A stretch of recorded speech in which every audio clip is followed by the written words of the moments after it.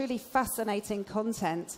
Uh, we're now on our penultimate session, which is about the AR revolution. Uh, so we're going to be hearing from Penrose Studios, who describe themselves as a group of engineers, storytellers, and artists who are pushing the boundaries of mixed reality. To see what exactly they are talking about, please could you put your hands together and we will hear from the founder of CEO, founder and CEO of Penrose Studios, Eugene Chung. Thank you.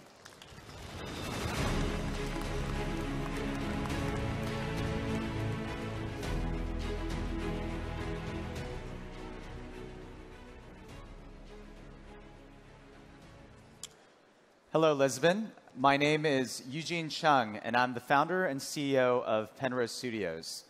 Penrose is a startup based in San Francisco, and we're a group of artists, storytellers, and engineers. And we're focused on our mission to define the next generation of human storytelling. The way I got into augmented and virtual reality uh, goes back many, many years ago. I grew up in a family where my mother is an accountant, a CPA, and my father is an opera singer. So I've always had this mix of left brain and right brain, creative and technical, throughout basically my entire life. But what I realized growing up in the suburbs of Virginia was that the neighborhood kids didn't really watch a whole lot of opera. They played video games, they watched movies, but opera wasn't on their regular media diet. So I went back to the history books and I learned that opera used to be a great major art form. 150 plus years ago, there were these great opera houses. Uh, but of course, th that gave way to the moving picture in the 1890s. And today, we look at things on rectangular screens, much like the ones behind me. And it's incredible how that transformation occurred. A few years ago, I was lucky enough to encounter the next transformation virtual and augmented reality as the next forms of storytelling, as the next forms of telling art. So, a few years ago, I founded Penrose with this mission. And if you think about what we do, it breaks down into three major categories. The very first is we make premium content content that we hope and believe everyone around the world can love and appreciate, whether you're a toddler or whether you're uh, a grandparent. The second part of what we do is the development of proprietary technology. We develop tools that allow us to become native spatial storytellers, tools where we can build directly inside of virtual and augmented reality. And finally, we're lucky to be in a space where we're innovating on new business models by necessity.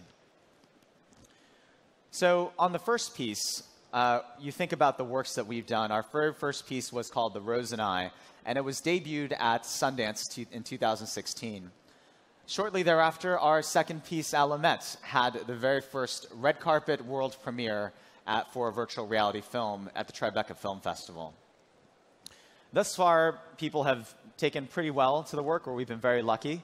Uh, Wired calling it our Allumette, the first VR film masterpiece. Uh, BuzzFeed calling us the best argument for VR. Uh, TechCrunch likening us to the Pixar VR. And USA Today and the Wall Street Journal and the New York Times, et cetera. But more important than the critical press, we've been very lucky that the consumer reactions to the work have thus far uh, been, uh, uh, been very good. Our latest piece is called Arden's Wake. Uh, it tells the story of a young woman living in a post apocalyptic ocean and her search for independence. It's not yet released, but it has been through film festivals around the world. And we're lucky that when Venice, the oldest major film festival in the world, uh, decided to award a lion for best VR last year, uh, Mina, the main character of Arden's Wake here, was lucky to pick up the first uh, lion for this uh, very special prize. So more, more so than the content and uh, in, in conjunction with it is how do we create, how do we power this new form of storytelling? And for this, uh, we turn to the Penrose proprietary technology suite. There are three major categories that encompass this, native asset creation, rendering and simulation, and pipeline that brings it all together. Now, these are words on a page, so I have some videos that will hopefully give you a better sense of what this looks and feels like. This is one of our artists, Tyler, and what he's doing is he's using his hands to sculpt in space uh, using a tool that we have internally that we've codenamed PenPen. The town of Allumette is a town that floats in the sky. It's reminiscent of Venice. But what you don't know when you see it is that every building and every cloud in the sky was sculpted by hand utilizing our internal tools directly in VR. Our rendering artists and FX artists took these cloud shapes and they said, well, you know, these kind of look like clouds, but I think we could probably do a whole lot better. So they took these shapes and they decided to make volumetric clouds that run in real time, that our lighters could then go and light. Now, this may look simple because you've probably seen a movie that has fluffy volumetric clouds, but what you probably don't know is that companies like Pixar and DreamWorks might take an hour, maybe up to 24 hours to render just one single frame of a cloud that looks fluffy like this. We have to render these clouds in real time, in virtual reality, 90 times a second. And that is a, a multi, that is a huge difference relative to the way that you can render it before. So given these differences, we actually had to invent a brand new way of rendering, a brand new technology, and that's what gives you the clouds you see in the world of Allumette our tools don't just go to asset creation, they also go to animation. This right here is a tool that we've codenamed Dollhouse. And what it does is it allows us to use our hands to animate objects in space. And what this does is it cuts out the middle the middleman rather than having to animate on a flat screen and then go into uh, a real-time engine and then go put it into a VR headset, you can actually just animate on the fly as if you're moving a doll around uh, in real life. This next tool is a tool called Maestro, and the video explains it uh, uh, better than I can, so let's go to that. A lot of the magic at Penrose Studios happens from the cross-pollination of creative and technical talent. The most frustrating thing about working in this medium is not having the appropriate tools. VR is a new medium, and there aren't a lot of things specifically built for VR creation. Maestro is a tool that allows the Penrose team to collaborate inside of a fully virtual space. My life before Maestro was pretty much everybody on my back here trying to watch like a little screen and sometimes it was like just too dark and people couldn't see and everybody was just like crawling on top of my screen to try to see something.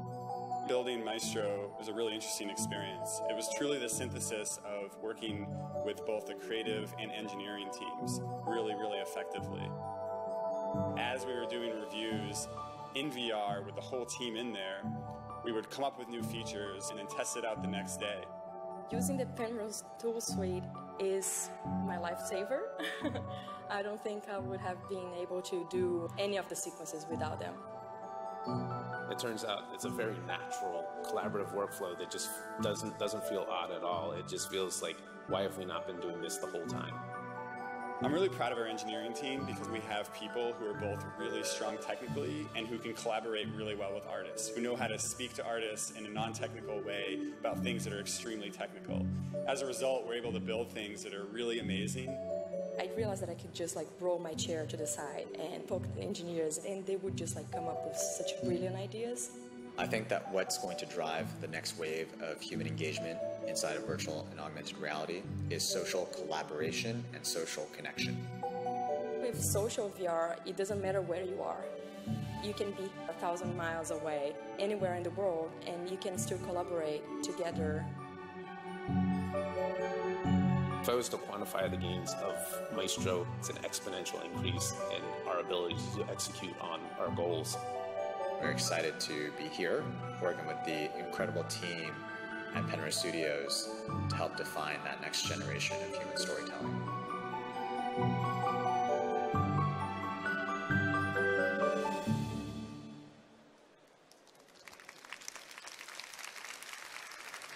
Thank you.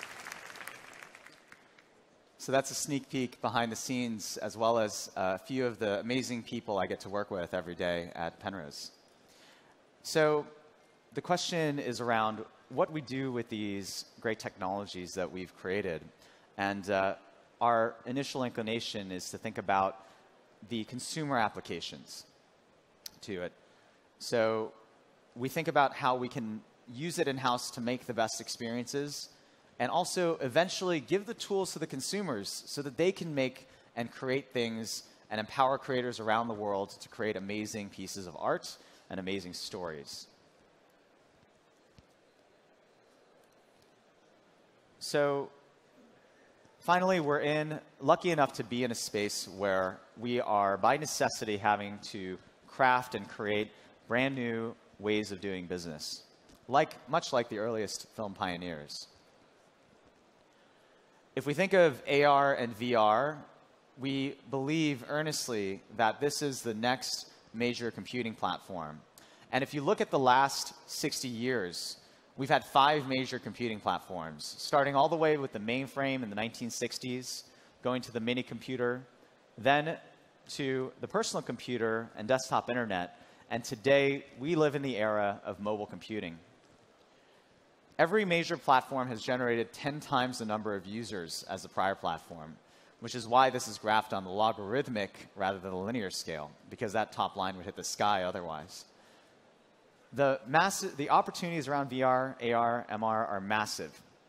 And the question is, how massive will they be? Well, luckily, our friends at Goldman Sachs have tried to estimate this. And their view is that within a few years, this will be a 23 to 182 billion dollar industry.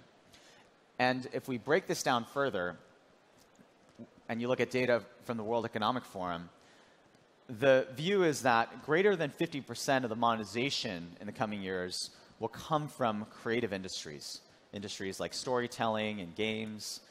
And this is no surprise when we realize the visceral nature of how VR and AR can take you to brand new places or take the world around you and bring new characters and new stories into that world. The first thought when it comes to virtual reality entertainment is video games, and that's great. If you look at the global video game market, it's a $110 billion industry growing at a pretty rapid 6% annual growth rate. But the narrative market, when you think about television and movies and, and, uh, and scripted programming, is almost six times bigger in size and while, and the reason for this is that even though uh, video games tend to command higher average selling prices or ASPs, there are a lot more people who watch television, uh, who watch movies, who listen to stories, the things that we've been doing as a human species for thousands of years. So, our view at Penrose is that what's going to drive this next great wave of computing will be stories. And that's why we have focused on our mission and our continuing mission to continue to define what this next generation of storytelling will be for years and years to come. Thank you so much for your time. I appreciate it.